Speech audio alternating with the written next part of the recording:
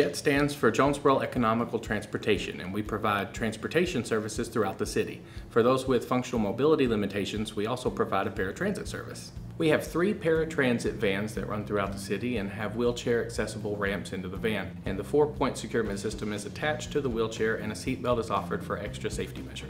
The fixed route service runs on a set schedule throughout the day, stopping by each stop. The paratransit service, however, is a door to door service where the riders schedule their trips ahead of time, at least one day up to 14 days in advance, and we take you from destination to destination. So we will pick you up at your home.